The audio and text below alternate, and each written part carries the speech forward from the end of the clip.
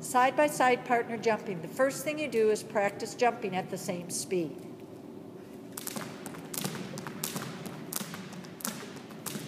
Then you'll stop and share inside handles. On a signal that you've picked out, then you start jumping together. One, two, ready, go.